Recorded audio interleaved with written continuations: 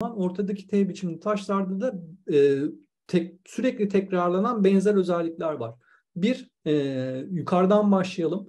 E, şey, e, bir başa denk gelecek bir e, anlatım var. Ama bu başın gözleri yok, burnu yok, ağzı yok.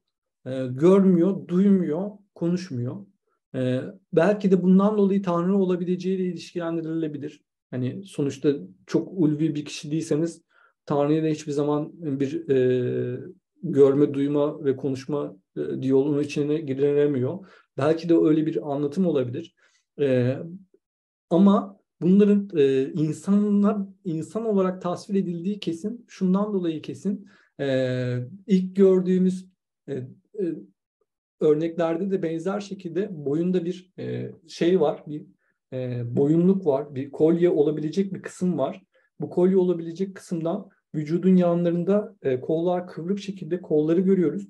Kollar e, aşağıya doğru, göbeğe doğru uzanıyor. Göbeğin olacağı yerde şurada e, bir e, şey var, kemer var. Bunun kemer olduğuna eminiz. E, ve bu kemer açıklayacağım nedenini sonra. E, bu kemere atılmış bir hayvan postu var. Bu ke kemerin üzerinde de H'ye benzeyen e, şuradaki gördüğünüz gibi şey e, betimler var. Şimdi baktığımız zaman ne oluyor? E, aslında e, yüzü gözü e, ağzı olmayan ve genital organını kapatmış. E, buradan kadın mı erkek mi olduğunu anlamıyoruz ama muhtemelen erkek. E, bir figür e, ve iki tane figür yan yana duran pozisyondalar. İki tane olması nedeniyle bir tanesi kadın bir tanesi erkek olabileceği hakkında bir görüş var. Ama ben e, ikisinin de erkek olduğunu, yani erkek aslında betimlenmek istendiğini düşünüyorum. Genital organ bir hayvan postuyla kapanmış durumda. E, buradaki bel üze, be, e, kemer üzerine gelecek motifler de e, H olarak isimlendiriyorum ama H ile aslında bir ilişkisi yok. E, mu, muhtemelen bu dem, e, bir deri bir kemer ve deri kemer üzerinde bir kakmalar var, bir yapıştırılacak parçalar var. E, çeşitli maddelerden yapılmış. Ama böyle bir buluntu yok. E, herhangi bir şekilde e, bir süslemeyle karşı karşıyayız. E, neden e, bunun hayvan postu olduğundan eminiz?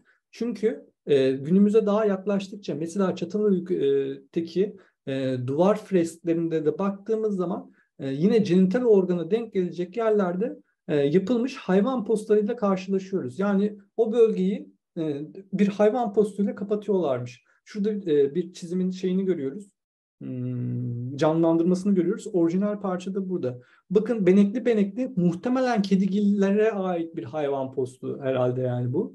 Ee, böyle bir şeyle kapatıyorlar. Ki Çatalhöyük'teki insanlar e, yerleşik hayatta olmalarına rağmen bakın burada bir af sahnesi var ve bulunan af sahnesinin kendisinde ana merkezde bir geyik var. Geyiğin kendisi çok büyük. Gördüğünüz gibi şey yine erekte pozisyonda tasvir edilmiş e, ve bunların elinde işte yay, ok, e, bun, bunlar neolitik e, aletler, e, şey e, bir tarafı böyle yuvarlak topuz gibi bumeranga benzeyen aletler ahşaptan yapıyorlar çoğunlukla. E, bunun, bunun aletlerle hayvanları çevirip avlama sahnesi göster gö gö görüyoruz.